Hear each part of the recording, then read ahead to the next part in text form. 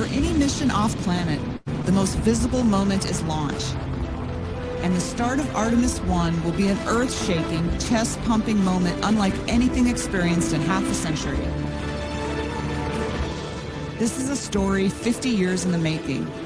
A story of relearning the lessons of those who pioneered a path to the moon and pairing them with all that we've learned since. This is a story of proving new systems and new capabilities with the generation of dreamers that are charting their own course.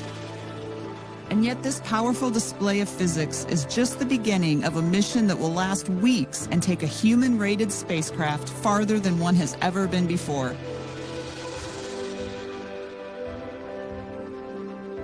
From the Earth to the Moon and safely back again. This is the mission profile of Artemis 1. Once our spacecraft has reached orbit around the Earth, teams at NASA's Johnson Space Center in Houston remotely check all of the spacecraft's systems to ensure it is ready to head to the moon. With a go from every team on the ground, Artemis 1 is cleared to start the upper stage engine at a very precise moment.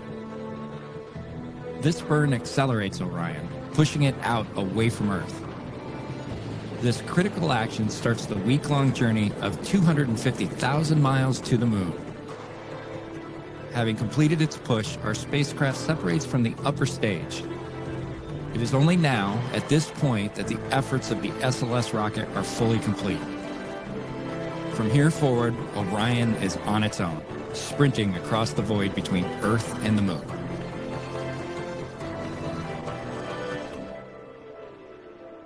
50 years ago, each of the Apollo missions entered a low lunar orbit and landed on the side of the moon that always faces Earth. This mission does not include a landing on the moon, but it will prove nearly every other aspect of an Artemis mission to the moon. For Artemis 1, Orion will pass by the moon just 60 nautical miles from its surface and enter a distant retrograde orbit. Distant because the farthest end of the orbit is 38,000 nautical miles away from the surface of the moon.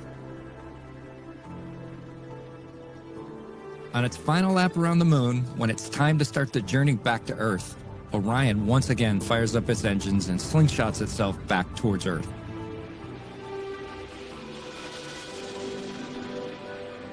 Experiencing one final mesmerizing Earthrise, Orion leaps out of lunar orbit and transits back towards Earth.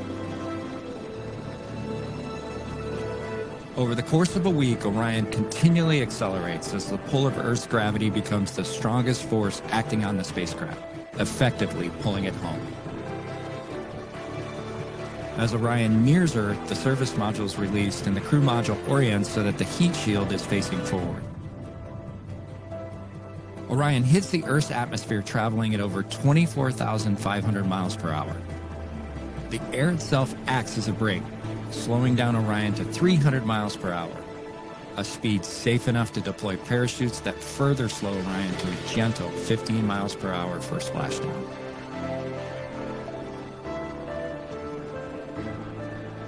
This is the culmination of efforts by hundreds of thousands from around the world to usher in a new era of lunar exploration. And this is the mission of Artemis 1.